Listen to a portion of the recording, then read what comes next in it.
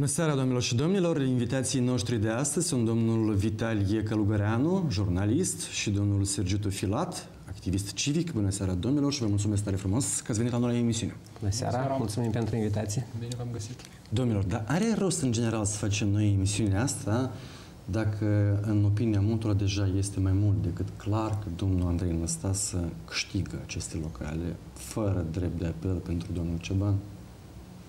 Pentru dumneile voastre e clar. E interesant așa cum ai sucit-o.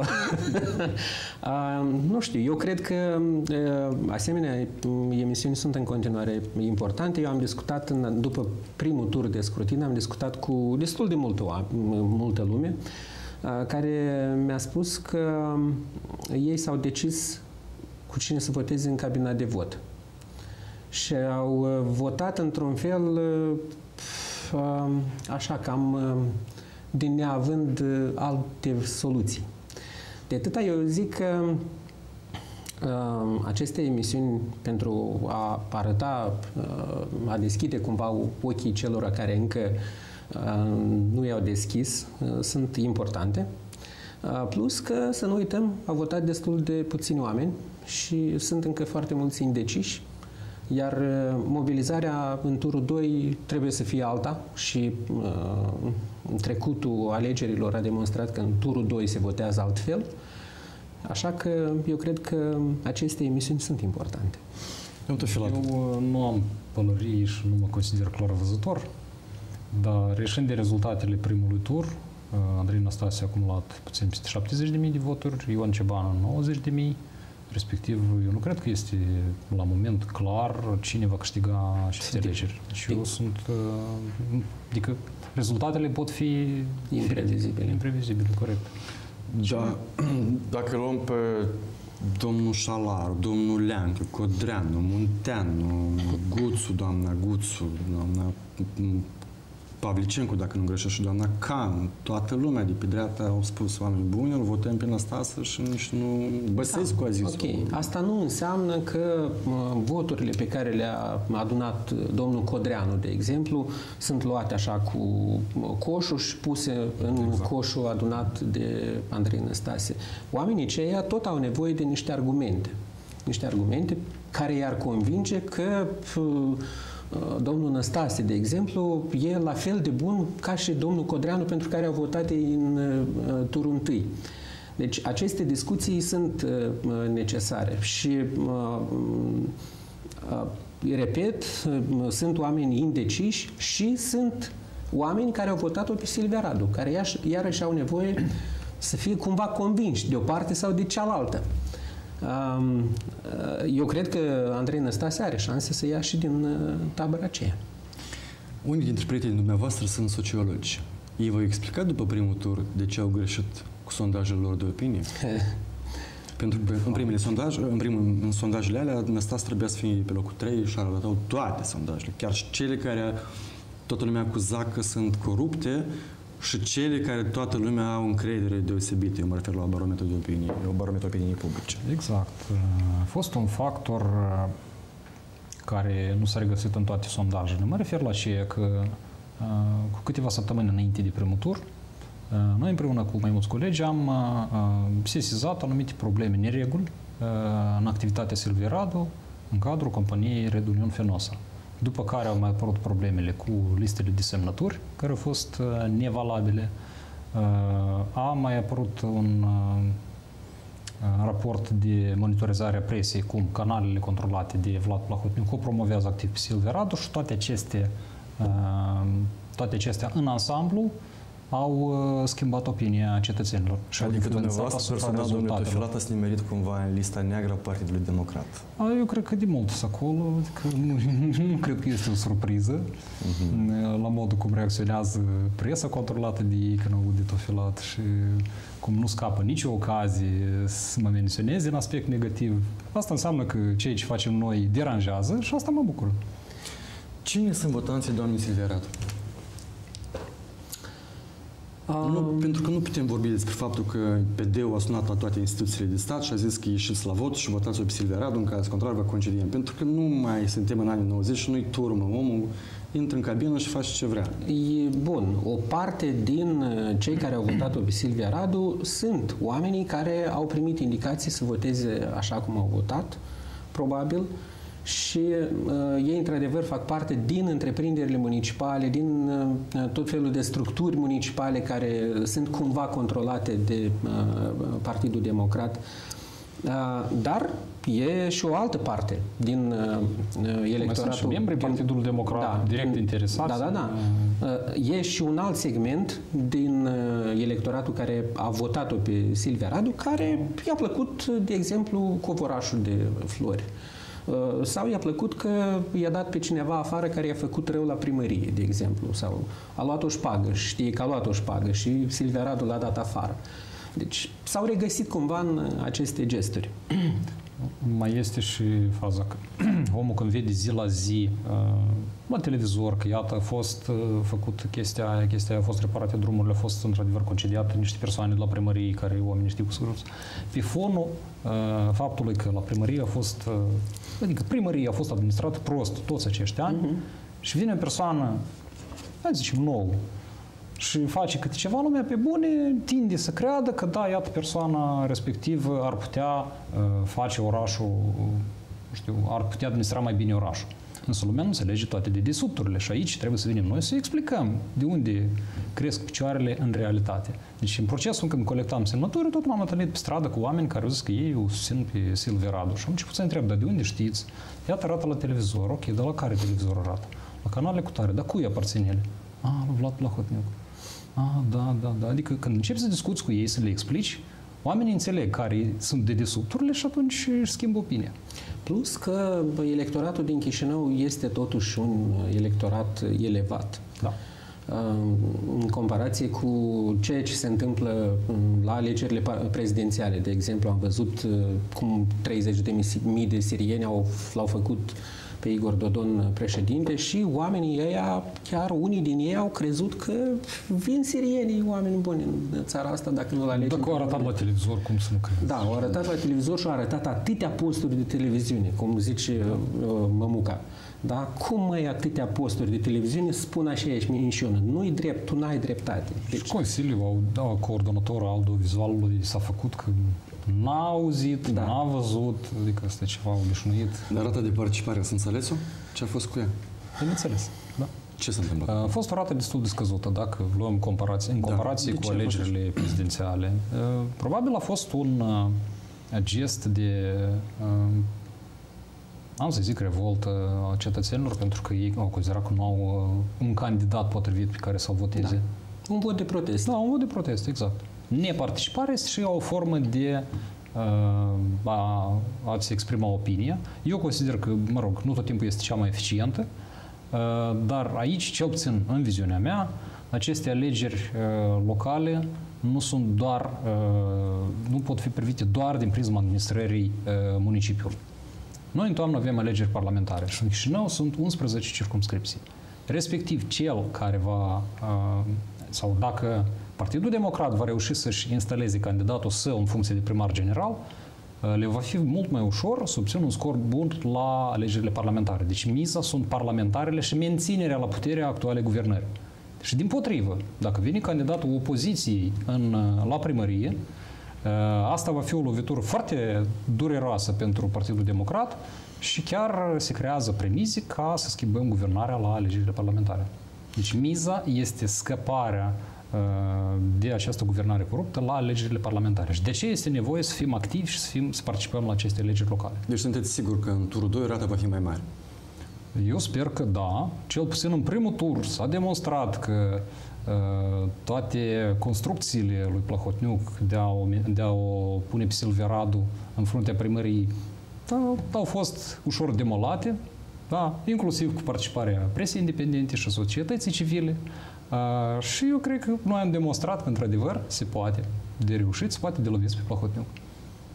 Da, asta chiar a fost... Și asta a fost uh, cel mai important rămas. mesaj care vine de, după primul tur. Dacă mai luăm și Bălsul, ce s-a întâmplat la Băls, da, exact. un an... Da, destul de surprinzător, totuși, pentru că după ceea ce s-a întâmplat cu numirile de la Curtea Supremă, de la Curtea Constituțională, numiri previzibile care s-au produs da. un pic mai înainte de aceste alegeri, toată lumea se gândea sunt rez- clare rezultatele pentru ce trebuie să mai ieșim la vot. Deci la, la, a funcționat la o parte din electorat și uh, chestia asta.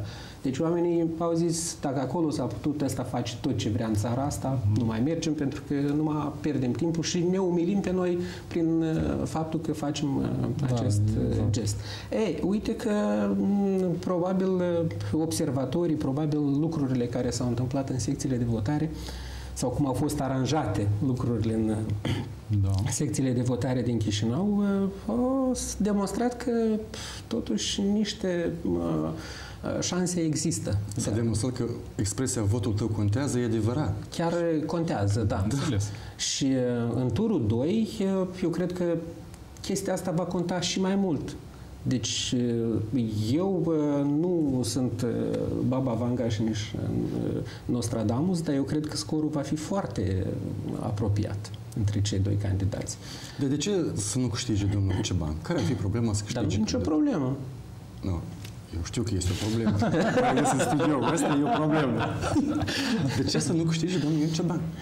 Pentru că ca și profesionist, ca profesionist, nimeni dintre domniile voastre nu poate să-l acuze de lipsă de profesionalism. Întrebarea nu este la profesionalism. În, da. în domeniul său. Întrebarea este la integritate, la faptul că domnul Ceban nu decide ce face și cum face, în sensul administrării orașului și luării deciziilor. Deci el nu este independent. Aici vorbesc concret de colaborarea între Partidul Democrat și Partidul Socialist. Dar cu integritatea care e problema? Mă refer la faptul că socialiștii nu, că pe el, mă refer că oligar, pe el nu democrat, adică ajută, colaborează cu Partidul Democrat. Deci când trebuie, votează anumite proiecte de legi sau promovează candidații Partidul Democrat în anumite funcții, inclusiv la Andrie. Sau din potrivă, dacă vine indicații, o joacă pe opoziția, o joacă pe sperietoare rusească. Despre asta vorbim. Uh-huh. Deci imaginea, uh, ceea ce vedem noi la televizor, nu corespunde cu realitatea. Și la întrebările pe care le-am pus eu ieri domnului Ceban, legate de colaborarea PD și PSRM, eu n-am auzit niciun răspuns. Respectiv, întâi de toate, el trebuie să recunoască că Partidul Socialiștilor colaborează și îndeplinește indicațiile Partidului Democrat și după asta o să ne clarificăm cât de independent este dumnealui în luarea deciziilor. Deci el poate și-ar dori să facă anumite chestii, dar cine îi permite? Votul mm-hmm. în Chișinău nu a fost niciodată altfel decât unul geopolitic.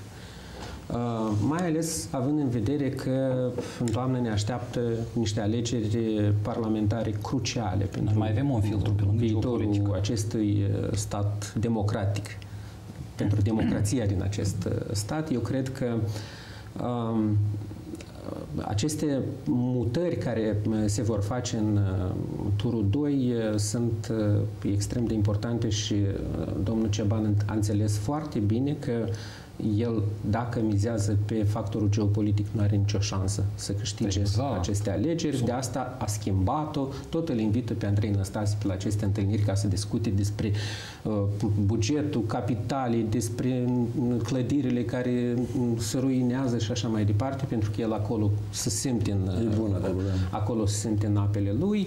Uh, nu cred că uh, are șanse, pentru că, repet, în Chișinău, Întotdeauna s-a votat geopolitic.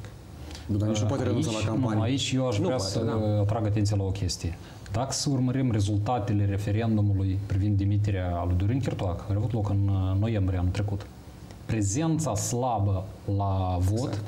și faptul că nu a fost trecut pragul minim de prezență, denotă o chestie, că primul filtru al electoratului este pro sau contra lui Vlad Plahotniuc. După asta vine geopolitica. Dacă oamenii simt măcar un pic de legătură uh, cu, a subiectului cu Vlad Plahotniuc, lumea refuză să prezinte. Deci imaginea negativă uh, a liderului democrat, așa numit, uh, demotivează oamenii să... Adică tot ce este asociat cu Plahotniuc ah, este, are imagine Anti-ratingul, evident că are... Respectiv, uh, toată geopolitica se duce de râpă atunci când uh, nu este trecut primul filtru. Și de aceea eu nu pot vorbi cu domnul Ceban despre uh, dezvoltarea orașului, despre programul electoral, până eu nu clarific relația Partidului Socialiștilor, care l-a înaintat la primărie, cu Partidul Democraților. Deci eu am câteva întrebări la care n-am auzit răspuns și o să continui să insist pe ele. Uh-huh. Inclusiv faptul că Dodon și cu Greceana, liderii socialiști, bun, fostul lider socialist, actualul președinte, și doamna Greceana, care la moment a preluat funcția de președinte a Partidului Socialiștilor, ei sunt vizați într-un dosar penal. Plângerea noi am depus-o colegii la procuratură în 31, uh, ianuarie, 31 uh, octombrie 2017. Deci persoanele respective au organizat o schemă uh, privind importul energiei electrice din Ucraina printr-o firmă căpușă în anul 2008. Noi, consumatorii, am fost fraudați cu 15 milioane de dolari doar în 2008 și dumnealor trebuie să răspundă penal pentru deciziile care au fost luate.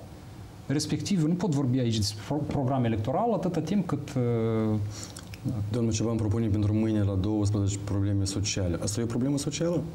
Bineînțeles că da. Haideți mâine să întâlnim acolo Sigur. și să discutăm da. pe, pe lag. Apropo, uh, la, deci, după ce am adresat ieri întrebarea privitor la această plângere penală și la schema organizată de Dodon și Grecean în 2008, Tom Ceban a mințit. Dumnealui a spus că nu cunoaște. Pe când, pe 31 octombrie, anul trecut, că noi am organizat conferință de presă, Dumnealui a oprit mai multe apeluri, pentru că era secretarul uh, sau responsabilul de presă, consilierul, da, președintele. Uh-huh.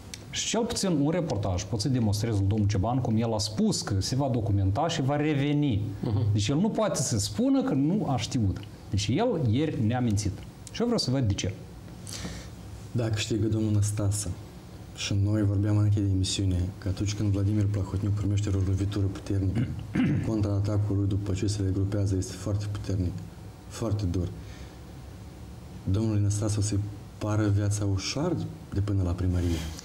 Eu cred că Vlad Plahotniuc a aplicat uh, cam tot ce a avut de aplicat în raport cu uh, Andrei Năstase și cu uh, cei care îl sprijină, care fac parte din echipa lui. Adică, nu știu, poate mai are ceva prin sertare, niște casete, poate, nu știu.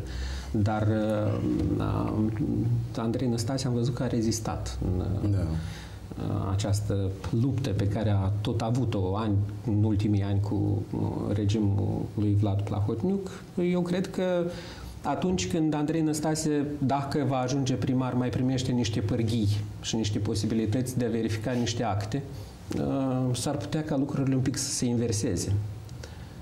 Uh, deci, știți, au fost foarte multe elemente murdare, da, interceptări telefonice, uh, pantaloni transpirați, eu cred că putem să mai așteptăm, nu știu, la imagini din viceu, probabil, sau ce să mai scoată încât să... Da, deci, și din câte am înțeles eu, luni după ce, ca, când a avut loc uh, întâlnirea de lucru, ședința de lucru la Partidul Democrat, prin, prin cabinet acolo zburau scrumieri, cești, cum voi, cu toate televiziunile, cu susținerea uh, comisii electorale, n-ați putut proteja o femeie? Scrumiere nu cred că Plahotniuc că nu fumează. Fumează alții. Okay. Da, probabil. Atunci asta o lăsăm pe seama mea. Și Mergem la bălți, un pic, domnilor ce s-a întâmplat la Bălți? Acolo toată lumea spunea că va fi turul 2, asta e clar, și spuneau toți, și a câștigat candidatul Renat Usate. Candidatul Renat, formațiunii care de un an și ceva, eu nu știu dacă a luat cineva mai multă bătaie, dita la partidul ăsta acolo la Bălți, se demonstra că Bălțul este a doilea Cernobâl. Era groz, groaznic. Da, Camioane însuțiți cu poliții mergeau să salveze Bălțul și câștigă reprezentantul Usate din primul tur cu 60%. Asta înseamnă că lumea vede lucruri. Și uh, eu nu știu, nu prea uh, trăiesc cu viața din uh, Bălți și nu prea știu care sunt, cum s-au împărțit media acolo. Mm-hmm. Dar mie mi s-a părut un oraș foarte viu. Uh, bun. Da, și mult mai că, mic ca Chișinău, uh, da, mai ușor să informeze. Uh, că întotdeauna au votat candidați proruși, asta e clar, s-a văzut, mi-am amintesc domnul Panciu când a câștigat cu vreo 90%. A câștigat tot ce voia, el da, în fiecare mandat. avea nicio treabă. Hmm, vedem totuși că procentajul nu mai e cel care era cândva, Uh, acum de data asta, dar oricum a... a câștigat candidatul, n-a mers într-o doi candidatul domnului Dodon, Alexandru Usate, parcă așa da, da, da. Și eu... Da, iată, apropo, aici foarte interesant cum uh, a fost găsit un candidat care are familia Usate. Și cum ăsta s-a făcut clar intenționat și nu proastă să nu vadă lucrul ăsta. Da, mai ales el și transmitea tuturor că ele sunt, ei sunt rudi cu Renato Usată. Și, da, evident. Și acolo Și lumea a n-a văzut... prins. Bun, în primul rând, Bălțul este un oraș mult mai mic ca Chișinău. Și la dânsi au fost vreo 8 ani la guvernare comuniștii. Și au vândut tot ce au putut acolo. Da? Deci când a venit uh, al de Renato Usată la guvernare, acolo practic nu a mai rămas nimic. Ei, uh, dacă nu greșesc eu, un, un hectar jumate au, au reușit să-l salveze prin judecată. Uh, Acum, asta e prima. A doua, pe față s-a văzut colaborarea în cadrul Consiliului Municipal a democraților, socialiștilor. și- Deci toți au fost uh, struniți de Partidul Democraților doar ca să scape, uh, să, să, să pună mâna, să pună controlul pe municipiul Bălți. Și lumea vede chestiile astea. Și respectiv a fost un vot de, în primul rând a fost un vot de protest împotriva lui Plahotniuc uh, și în al doilea rând uh, eu presupun, nu pot ști cu certitudine, nu pot ști cu certitudine, dar presupun că uh, în acești ani uh, persoanele din, uh, de la conducerea primăriei au mai reușit să facă câte ceva. Personal am fost la, spre exemplu, la Igor Șeremet, care era viceprimarul, da, care a plecat uh, recent, iarăși la presiunile democraților. Da, și am văzut o persoană competentă, am discutat niște probleme care țin de programul național de gazificare. Da, noi acum efectuăm un studiu, cum a început cu 2002, s-au strâns bani de la oameni, s-au construit gazoducte, ele se folosesc pe gratis de Moldova Gaz și stau la balanța primăriilor și așa mai departe. Deci am văzut o persoană competentă care cunoaște, nu trebuie să-i lămurești de la zero ca un începător ce se întâmplă. Și presupun că s-a mai reușit câte ceva și lumea a văzut că a făcut diferența.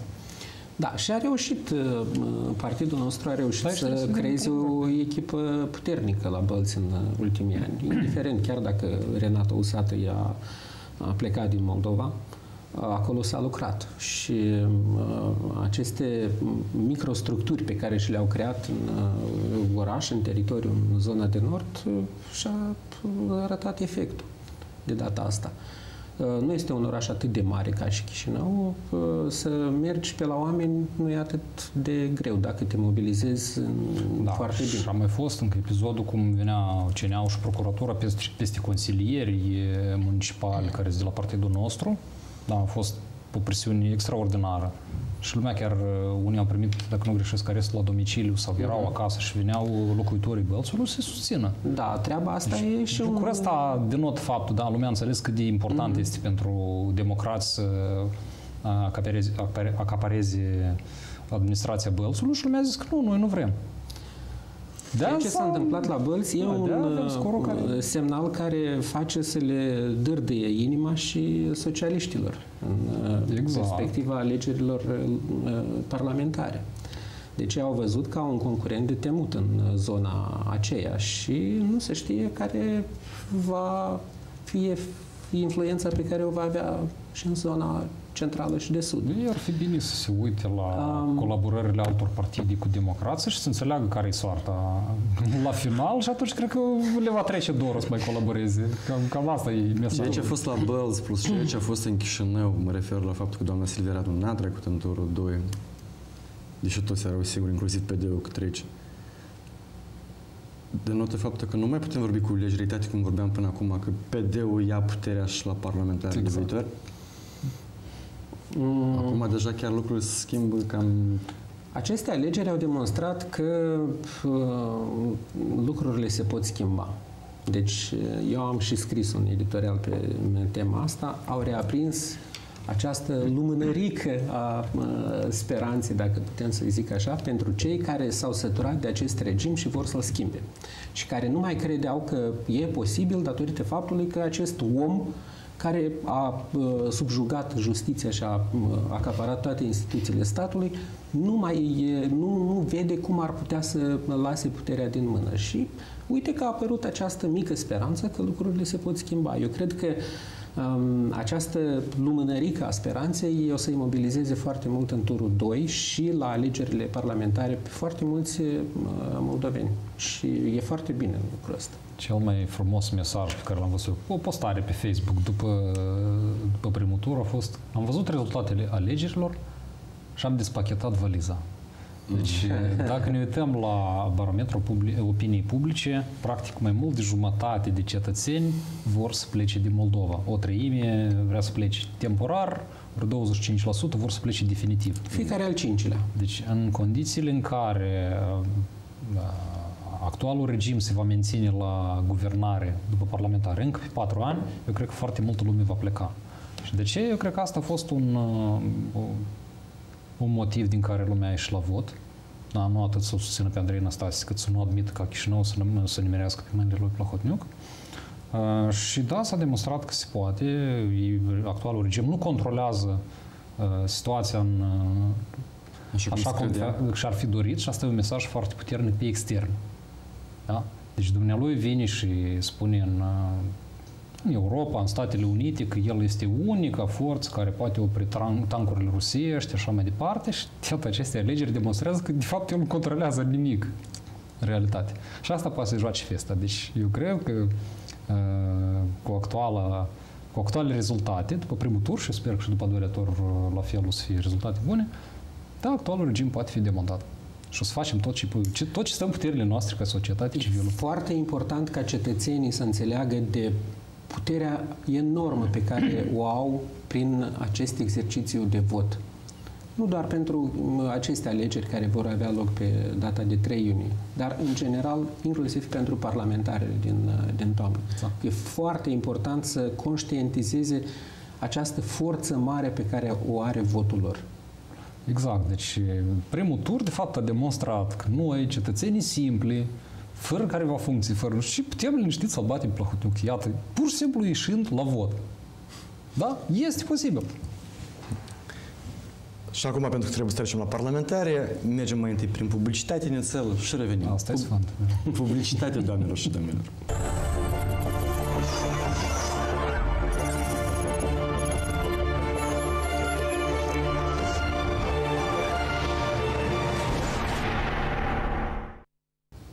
Noi am revenit, doamnelor și domnilor, domnilor, vorbim despre locale în contextul parlamentarilor care vin, dar pentru unioniști.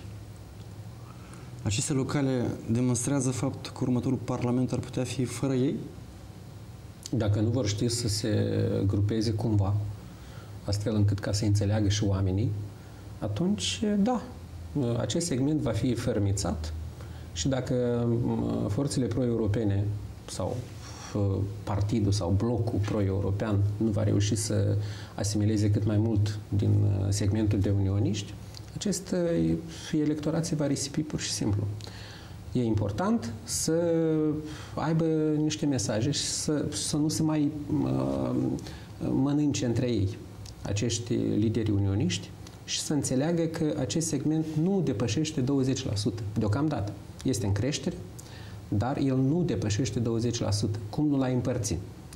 Și uh, să împingi trei formațiuni sau trei candidați pe segmentul unionist, este clar pentru oricine că unii din ei sunt puși ca să rupă voturi. Eu cred că, da, începem de la aceea că este o bună parte de cetățeni care împărtășesc uh, opțiunile unioniste, uh, însă e aceeași problemă practic nu prea ai opțiuni politice, adică cine este reprezinte în Parlament. Da? Nu ai cu cine vota, asta e problema. Uh, și de ce ea, iarăși, atâta timp cât uh, nu există formațiuni puternice, uh, cu candidați integri și profesioniști care să promoveze ideea unionismului, lumea va, va fi pasivă, va sta acasă sau va vota pentru altcineva care nu neapărat are aceleași viziuni. Uh, dar este, are orientare Și iarăși europeană. vorbim de deci suspiciunile vorbim că, de votul util. că aceste, unele dintre aceste formațiuni sunt uh, împinse de Partidul Democrat tocmai pentru a risipi aceste voturi. Domnule Calgureanu, da, exact. unele care se cheamă cum? Ok. Iată, să întrebăm pe doamna Pavlicenco de ce atât de des calcă pe la televiziunile lui Plahotniuc. Asta în primul rând. Da, deci, dacă doriți pe bune să, uh, să câștigați, să dobândiți încrederea oamenilor, încetați să mă mergeți la acele televiziuni. Sau dacă mergeți acolo, uh, da, hai să mă chemi pe mine cel puțin o dată, după asta eu sunt sigur că nu o să mai vrea să, să mă chemi. Deci vii acolo și spui lucrurilor pe nume, da? Nu te ascunzi după anumite chestii. Da? Asta în primul rând. În al doilea rând, da, dacă vorbim de Partidul Unității Naționale, Domnul Șalaru are probleme cu legea. Vă spun concret, este investigația publicată de ziarul de gardă în martie 2016, cum au fost vândute de la Ministerul Apărării, întâi trecute uh, trei complexe de rachete antiaeriene au fost trecute de la Ministerul Apărării la aeroportul Mărculești, după aia au fost vândute unei companii care are fondator prin Donbass, da? și tot asta s-a făcut când era, adică au fost documente semnate de domnul Șalaru. Da? Dumnezeu e certat cu legea. Și atunci despre ce integritate și valori poți să vorbești când uh, persoana aceea nu este uh, nu decide de, de una singură. Dar cu Băsescu ce facem? Oamenii îl iubesc aici la Chișinău pe Băsescu. În primul rând, Dumnezeu să răspundă care a fost rostul să rămâi în primul tur când este clar că al tău candidat nu uh, nu are șanse mari să acumuleze multe voturi, să treacă în turul 2. Ca să fii mai sus furat, ca să arate tu... că a trecut peste Partidul Liberal. Uitați-vă, în situația în care... Uh, ca să câștigi ce?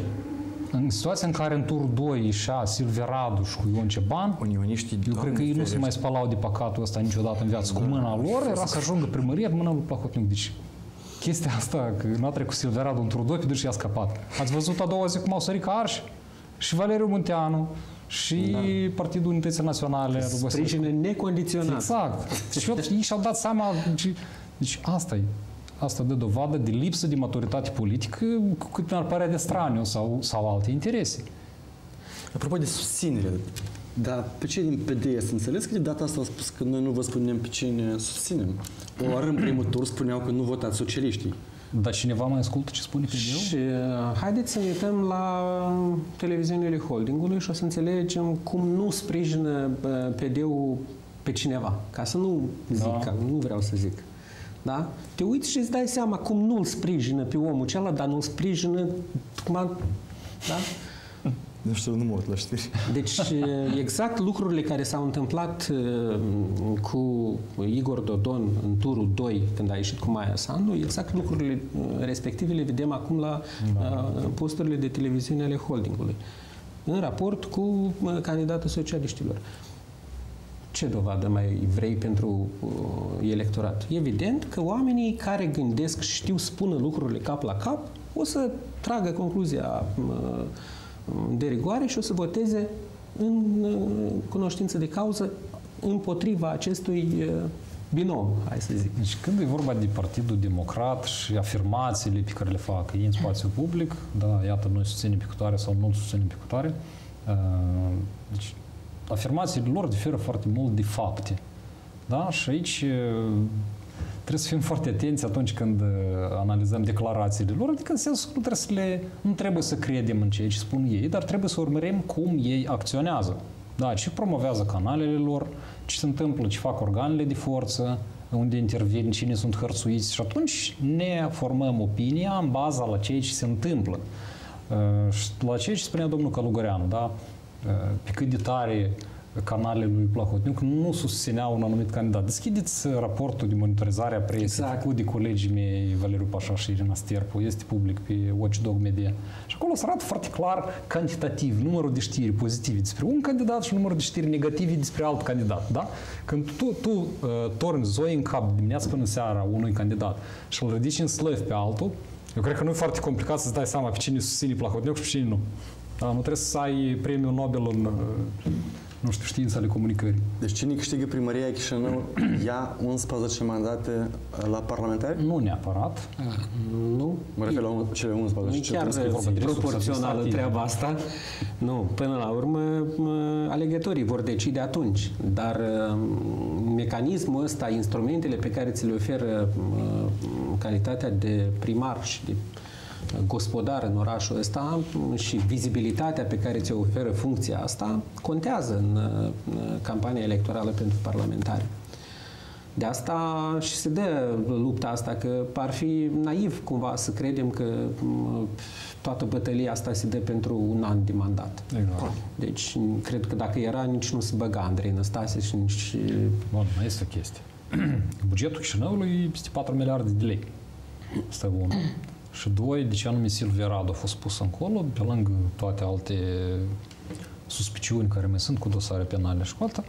Doamna Radu a lucrat la o companie care se credita la băncile internaționale. Deci dumnei are relații cu Berdu, cu BIU, care împrumută, creditează municipiul Chișinău. Reșind din faptul că domnul Plahotniuc, tot parcursul vieții sale, nu știu, publice, eu cel puțin urmăresc asta, de prin, adică am, am, m-am documentat pentru perioada din 2005 încoace. Nu a construit niciun fel de business, el e deprins doar să furi și să acapareze și să ia prin atacuri rider, îți face o concluzie foarte simplă. Intenția lui, pe lângă faptul că să aibă resursă administrativă la parlamentare, e să mai și furi. Deci Ionica știu a fura. Da? Cum a intrat Silvia Radu în primărie? Foarte simplu. A fost chemat Nistor Grozavu, care are activat dosare penale și i s-a spus semnezi ordinul ăsta și o numești persoana respectivă în funcție. Ia tot cum știu ei să... Eu amintesc conferința de presă la care exact. uh, domnul Nistor Grozavu citea de... Da, citea de pe foaie și tremura vocea așa. Asta. Uh, Ilan Șor a câștigat o primărie. Jura de mm-hmm. mijloc, dacă nu greșesc. Da. Uh, Maia Sandu a cerut anularea A rezultatelor, s-a decis. s-a decis că nu, Da. totul este bine. Bun, nu este miza domnului Șor, cred că localitatea respectivă. El se pregătește și el pentru parlamentari, Eu sunt convins că el o să Înțeles. apară. Da. dar omul este condamnat. Omul Cine totuși vă a fost spune? Nu condamnat poți. decât prima instanță. Dosarul domnului Șor nu a fost mutat întâmplător la Cahul. Pentru că, din câte eu mai am niște relații prin uh, lumea asta, inclusiv în uh, domeniul justiției, uh, în Chișinău, cam toți judecătorii au cam refuzat să examineze dosarul ăsta ca să-l spele cumva, pe, pentru că asta era ideea. Șor trebuie spălat. Și atunci, când uh, toți judecătorii din Chișinău s-au dat la o parte, unii erau gata să-și dea demisia, s-a decis ca acest dosar să fie transferat la Cahul, acolo unde jurnaliștii ajung mai târziu mm-hmm. sau mai greu. Nu toate posturile de televiziune, de exemplu, posturile la care lucrăm noi, mai rar ajung pe la Cahul uh, cu echipele de știri. Deci, uh, vedem că acum s-a amânat cu două luni următoarea ședință, deci lucrurile vor fi cumva lălăite uh, și uh, ca să ne pomenim la un moment dat cu acest om curat ca lacrima și gata de parlamentare. Deci Șor este acea persoană care nemijlocit ducea sacii cu bani. Figurat vorbind, concret era executor să scoată banii din bănci și să le transfere în offshore-uri. Dar la parlamentare noi vom vedea varianta, adică poziția oficială va fi că Ilan Șor nu este vinovat atâta timp cât nu este o decizie finală a instanței de judecată. Iată care să fie poziția oficială a parlamentare. Și da, având în vedere popularitatea domnului Șor în uh, Orhei, eu cred că el are foarte mari șanse să accedă în Parlament. Și circumscripția Asta e respectivă, unul. da? Da. da. Uh, Ceea ce ține de doamna Tauber. Uh, Dacă deschidem raportul Kroll și ne uităm când a început, de fapt, furtul miliardului, a început, hai să zicem așa, prin august 2012, când în aceeași zi, pe data de 17 august, 21 de persoane și persoane fizice și câteva companii au devenit peste noapte acționari la Unibank, fiecare primind împrumut de câte un milion de dolari. Deci Marina Tauber, după cum ne spune raportul Cro- Kroll, a primit împrumut de un milion de dolari și a cumpărat împreună cu alte 20 de persoane acțiuni la Unibank. Și toți pachete mai mici de 5%. Întrebarea mea este, sau întrebările mele sunt, cine pe doamna Tauber a sfătuit împreună cu ceilalți să devină acționar la Unibank? Uh, De unde s-a creditat dumnei? Cine i-a dat împrumut de un milion de dolari? Cum i-a la achită? Ce a pus în gaj la acest împrumut? Deci, eu cred că oricare din noi, dacă se duce mâine să contracteze un împrumut de un milion de dolari, eu cred că nu are nicio șansă. Da? Dar să mai fie coincidență că toți peste noapte au devenit uh, acționari la Unibank, da? La fel nu este nici. Deci dumneie este complice la furtul miliardului și întrebarea este către procurorul Viorel, Viorel Morar de la anticorupție. Uh, De ce până acum dosarele, în, în uh, dosarul legat de furtul miliardului nu a fost anchetate aceste persoane și ei, ele nu sunt reținute. De ce Marina Tauber este, este permis să participe la legi? Dumnezeu trebuie să fie după grate împreună cu Șor și toți ceilalți. Acești oameni, din funcțiile Și de apropo- primari pe care le au, gestionează în continuare bani publici. Exact. Și apropo, uh, domnul Morar, eu i-am dat un sfat în decembrie. Acum a fost un club de presă și am început a scoate documente și a pune întrebări incomode și dumnealui nu știu cum, nu știa în care parte să o apuce. Deci faptul, acea filmare video în care eu numesc sume, date, denumiri de companii, persoane și dumnealui nici până ziua de azi nu a luat atitudine, deci el pentru asta, asta e dovada faptul că el este complice și protejează persoanele respective, Candu, Plahotniuc, Platon și restul, și el va răspunde pentru că este asta. Imaginea video este și ea va fi folosită ca probă împotriva lui Viorel Morar. Sper că mă aude. Dacă nu mă aude, transmiteți. Eu intenționat am spus acolo denumiri, sume, date, tot, tot, tot, ca să rămână în spațiu public și el după asta să răspundă pentru ceea ce a făcut sau nu a făcut. Rămânem la locale. Partidul Democrat a câștigat și el patru primării. Poate merită și ei lăudați pentru asta. Dar ei s-au lăudat singuri. am văzut briefing-ul, s-au lăudat, am văzut uh, portalurile de știri uh, care îi deservesc uh, titluri. Cel mai, cele mai multe primării a câștigat PD-ul. Inclusiv și jurul de mijloc. Așa, pur întâmplător... Și a cerut scuze. Bun, da. Staffului, da, No- noi eh, glumim, A, da. mă scuzați, asta nu era... Noi, noi glumim, dar dacă ne uităm la m, ce s-a întâmplat uh, și la alegerile tot anticipate, sau noi, ca să le zic așa, uh, care au avut loc ceva mai înainte, da, uh, le-au câștigat și atunci uh, acele primării. 10 primării. 10 primării. Deci, uh, eu cred că PD-ul și-a testat un mecanism uh, în aceste primării micuțe, tocmai pentru a pregăti cumva ca acest pe- mecanism să funcționeze ideal în uh, alegerile uh, care vor avea loc în toamnă. Bun, mai sunt încă două chestii. În uh, sate, de regulă, oamenii au două, trei televiziuni publica, Prime și... Canal trei. Mă rog, deci, practic, tu nu ai surse de informație. Asta e prima. Și a doua, dacă vine un primar independent care nu este controlat de PD, nu uitați că primăria primește uh, transferuri și resurse financiare de la bugetul de stat. Deci dacă tu nu ai o relație careva cu Partidul Democrat, tu ca primar nu poți atrage bani în sat. Nu ai din ce face drumurile, nu ai din ce repara școlile, spitalele și așa mai departe. Pentru că așa ai gândit Lumea pur și simplu nu dorește să mecanismul. participe, pentru că înțelege că nu o să poată face nimic acolo în, uh, în primărie. Dar există instrumente de convingere. Da? Nimeni n-a zis că dacă tu ai susținerea oamenilor și pe bune vrei să faci ceva și cei de la guvern refuză să-ți dea bani, vii cu sătenii și blochezi drumul. Asta așa, ca un sfat cel mai simplu. De exemplu, cum, cum m-aș proceda eu în- într-un sat? Da, vin și spun oamenilor, iată, oameni buni, noi am depus solicitare la guvern, ei refuză să ne dea bani, iată. În satul vecinul ne de primarul PD-ului. Le-a dat bani, nouă nu vor să ne dea pentru că eu nu sunt la PD. Mergem să blocăm drumul. Hai să vină Cafcaliuc sau restul să ne explice uh, să luați să vină prim-ministru Filip. Uh, Deci există instrumente, doar că ele pentru trebuie asta, folosite. pentru asta, acești oameni care ar mobiliza oamenii ar trebui Dar să asta fie trebuie să ai imaculați. Da, exact. Să nu fie șantajabili, să nu aibă uh, dosare, să nu Corect. aibă afaceri, că dacă ai afaceri, oricum ai probleme dacă te bagi în uh, trebuie să combinații fii de mort. genul ăsta. Trebuie să fii imaculat și trăiești din salariu. Da, și treci din salariu, exact. Apropo de blocatul drumurilor, Da. domnul Ilan Șor spunea că el nu recunoaște alegerile din Chișinău și nu excludea niște proteste. Guvernarea de la Chișinău trebuie să se îngrijoreze de, după această amenințare. Păi, dar când să mai fac proteste omul? Că gata, deja n-am văzut nici contestația de protestez, facto. oamenii, stați un pic, dar pentru ce? Unde? La Orhei se organizează La Chișinău. proteste? Nu, la el Chișinău, nu le Milan recunoaște. Șor, la Chișinău. Lui nu-i plac alegerile din Chișinău, cum se că doamna desfășoară. Apostol Ok, a eu vreau fost să văd extras. cum Milan Șor scoate chișinăuienii la proteste. Vreau să văd. Dacă o scot orhieni, e ok, mi-e interesant, dar ce treabă are un orheian cu alegerile? Doamna Doamna Apostol, pentru ce a fost exclus? Nu, eu nu vă întreb ce a fost la știri, eu vă întreb pentru ce a fost exclus. Probabil uh, s-a gândit cineva că îi cam fură o parte din voturile doamnei Radu. Eu așa am gândit. Sau domnul Radu, sau lui Sau domnului Ceban, Ceban. Da. Sau de la amândoi, un pic. Cel puțin Adică e încurca oricum, indiferent la care din tranșee uh, s-ar duce voturile. și iarăși Regina Apostolova alături de Marina Tauber, uh, Viorel Melnic și încă alte vreo 20 de persoane, la fel sunt complici la furtul miliardului. Regina Apostolova tot a primit un împrumut de un milion de dolari, tot ca să devină acționar la Unibank. Deci ei iarăși trebuie să răspundă pentru complicitate la furtul miliardului. Bogați Foarte oameni. simplu, da.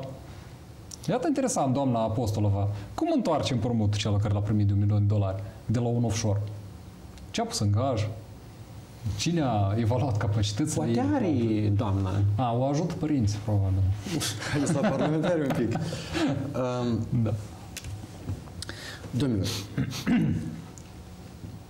Cine câștigă aceste alegeri parlamentare dacă câștigă Andrei Năstase localele din Chișinău? Sergiu zi. este, un proverb, este un proverb chinezesc foarte bun. Și că учителя долго ли ждать перемен? Nu, если ждать, то долго.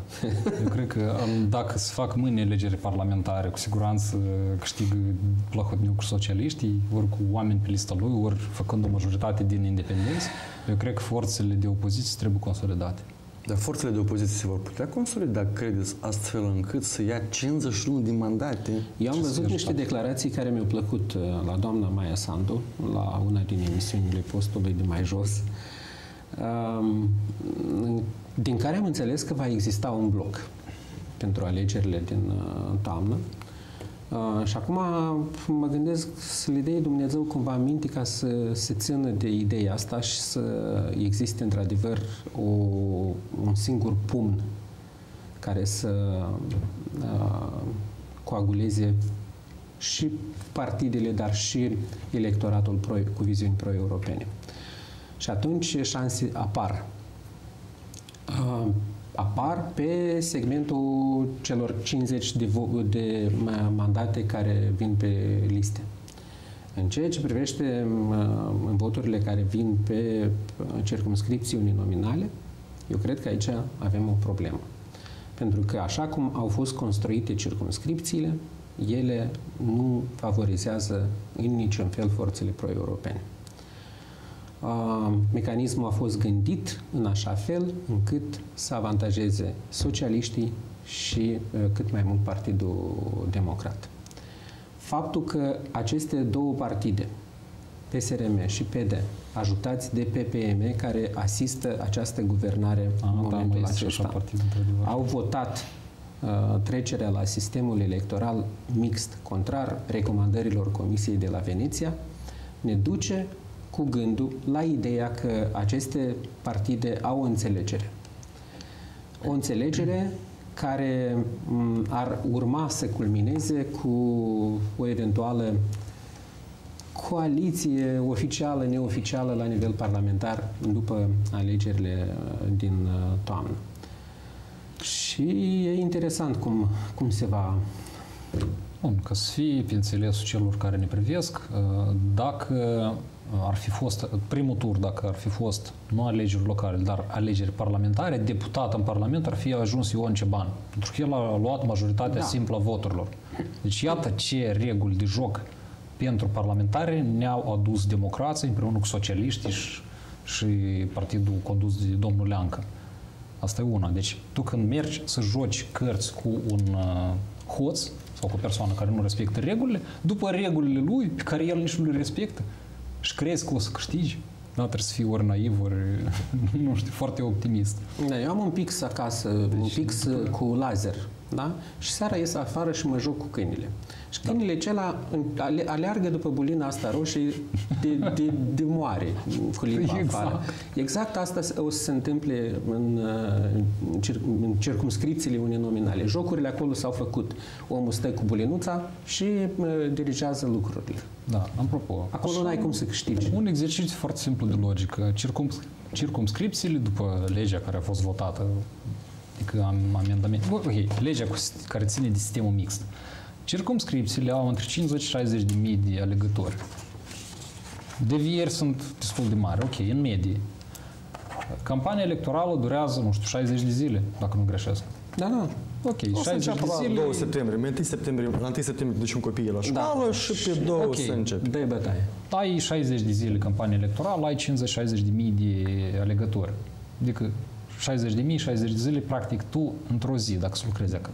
Zi la zi în teren, tu într-o zi trebuie să te întâlnești cu mii de oameni. Fizic reușești? Eu nu cred. Deci candidații care vor merge pe circumscripții vor avea nevoie de bani, de echipă care să-i ajute, de prezență mediatică ca să ajungă la fiecare gospodărie, lumea să cel puțin să-l cunoască. Da. Nu mai vorbim de faptul că să-i convingă că iată el va putea schimba ceva în uh, Parlament. Deci, Iar toate astea le dețin două formațiuni. Absolut, da. da. Anume asta și ei socialiștii sau democrații folosindu-se de socialiști au introdus așa niște reguli de joc la alegerea deputaților ca doar ei să poată câștiga aceste legi să se mențină la guvernare. Foarte simplu, să scape de, să scape de responsabilitate. Doar la alegeri noi putem scăpa de această clasă politică pe cale pașnică. Și ei au schimbat regulile de joc ca să mențină la guvernare.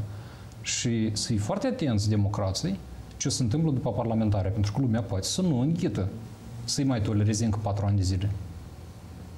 Noi avem uh, cazul Armeniei, cel mai recent. Lumea ești în stradă și a dat jos guvernarea. Deci să fii foarte numai că, atenți ce acolo, fac. numai că acolo p- guvernul a reacționat la proteste. Aici lucrurile nu sunt așa. Sus. Aici scoți scutierii și ai rezolvat problema. Ai văzut uh, cum În se Chișinău, întâmplă. dacă lumea stă în uh, piața Marii Adunări Naționale, ok, posibil tu ai să poți controla situația, dar dacă se scoală câteva sate acolo un polițist la 1000 de oameni, ce face el? Tu nu faci nimic. Ce să facă dumneavoastră vorbesc despre faptul că Maia Sandu spunea de blocul electoral. Dacă câștigă Andrei Năstase, Maia Sandu este, va fi um, portul apelul opoziției pro-europene. Depinde cum... uh, Eu cred că ei discută. Eu sper că ei discută lucrurile astea și cumva înainte ca Maia Sandu să-i ofere sprijinul lui Andrei Năstase uh, pentru alegerile din Chișinău, au- lucrurile astea au fost puse cumva cap la cap. Uh, Care o să fie trenuțul în blocul lor, eu nu știu, dar eu cred, eu sper foarte mult ca lucrurile să fie tranșate deja. Da, aici și uh, iată, eu vreau să vă pun o întrebare foarte simplă. Pe mine mă deranjează faptul că în Republica Moldova uh, partidele politice sunt reprezentate în mare parte de, de lider. Dar pleacă liderul, dispare partidul. e o problemă asta. Spuneți-mi, vă rog, dumneavoastră știți care este președintele Partidului Republican sau Partidul Democrat din Statele Unite? Dar nu sunt ăștia care sunt cunoscuți. Hai să zicem așa, nici eu nu știu. Și putem să facem un sondaj, să ieșim acum în stradă, să oprim 100 de oameni, eu sunt sigur că niciunul nu o să răspundă. Da? Pentru că nu contează, contează echipa. Și iată, eu, cred, eu tare programul. sper că da, noi vom ajunge să trăim în Republica Moldova când Da, va noi conta trei nu, echipa și asta nu va fi partidul. mileniu. Asta Asta nu iată, o să spre fie acum. asta trebuie să tindem. trebuie să ne da, explicăm. da, dar asta nu o să fie acum. Da, și fiecare să fie responsabil de area lui de activitate, de domeniul său. Și la un moment dat să fie lider, persoana care aduce cea mai mare plus valoare. Și nu contează, pleacă ăsta, vine altul, dar se Uite păstrează la echipa. calitatea, la calitatea politicienilor pe care noi îi avem De și acord. spunem dacă îți imaginezi cumva ca oamenii ăștia să discute în atât de sofisticat și elevat cum spui tu. Nu cred că e real. Dar dumneavoastră aveți candidat la parlamentarele astea. Uh, Eu inițial eram contra, după ce am văzut rezultatele primului tur și am mai discutat cu colegii, deja stăm și ne gândim. Are rost sau nu? Încă, încă nu sigur de, de răspuns. Rămâne să mai vedem. Mai avem câte ceva de făcut și pe extern. Uh, Așa că să nu se relaxeze foarte tare domnul Candu când se duce în Statele Unite. Uh, Și după aia vedem. Vă referiți la vreo circumscripție din Chișinău? Dacă, da, dacă Da, veți probabil, decide- cel mai probabil, da, voi candida în Chișinău. Pot să mă duc și în Isporieni, unde va candida domnul Plahotniuc. cu Dar mare noi vom plăcere continua aș să merge rămânem la în studio dezbatere să cu vorbim voi. despre ce Evident. fac ei acolo. Da? o să trăsnim, iasă fumul. Și o ultimă întrebare care cred că o să vă placă. Domnul Igor Dodon spunea despre faptul că Moldova este prima țară care a obținut statut de observator pe lângă Uniunea Economică Euroasiatică. Ca efect, mă, puțin mă interesează. Uh, De ce Vladimir Putin și oameni de genul ăsta care conduc jumătate de glob, știind că asta nu are efect la Chișinău, a zis da și au votat acest lucru. Știind că guvernul e contra, Parlamentul la Chișinău este împotrivă, pentru a oferi o posibilitate uh, propagandiștilor care lucrează în uh, Republica Moldova să uh, disemineze această știre și să spună cât de importantă este Să aibă important ce este umple gestul. agenda de știri. Exact. Gălăgii. Deci Dar el ceea ce cum a face început Igor așa și s-a Dodon, încheiat tema asta. Uh, o să vedeți că o să prevină la dânsă. Da? Da? Știți, Federația Rusă foarte, foarte mult îi convine situația care e la noi acum. Da? Stă Partidul Democrat la guvernare, care chipurile este pro-european, chipurile este susținut de parteneri externi, dar mai primește bani de la femei. În presa rusă ce apare? Iată, vedeți, Republica Moldova este un partid pro-european. Iată ce dezastru acolo, s-a furat miliardul, justiția capturată, lumea moare de foame, oamenii pleacă. Da? Deci pentru dâși, pe ei perfect îi aranjează situația asta.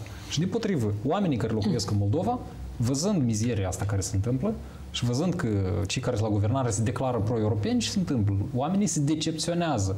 și încrederea și dorința de a ne uni cu Uniunea Europeană este în descreștere. Da? Sondajele arată. Și lucrul ăsta perfect aranjează pe Federația Rusă. În rezultat, vă spun ce se întâmplă. Peste patru ani de zile, dacă se menține așa numita stabilitate, da?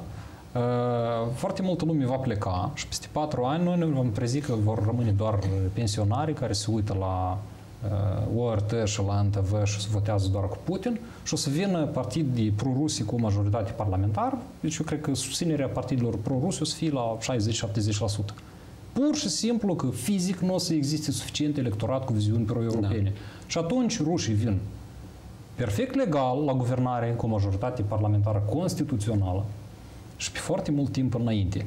Și ce o să facă ei aici? Orice își doresc. Putem să ne trezăm, nu știu, cu o bază militară la Cahol, de exemplu, la graniță cu România, care este membru NATO. Și în spatele Ucrainei, da, pe care și europenii și americanii încearcă cu tot din să susțină, să o scoată din ghearele Rusiei. Și atunci Moldova, de fapt, va deveni o mare bătaie de cap pentru partenerii externi. Așa că asta și e mesajul nostru, să încercăm să-i convingem că așa numita stabilitate pe care o promovează uh, Partidul Democrat și Plahotniuc și toți aliații săi, de fapt, ea nu este una sustenabilă, adică tu nu poți menține pe termen mediu și lung țara în captivitate, da? pentru că asta nu este sustenabil.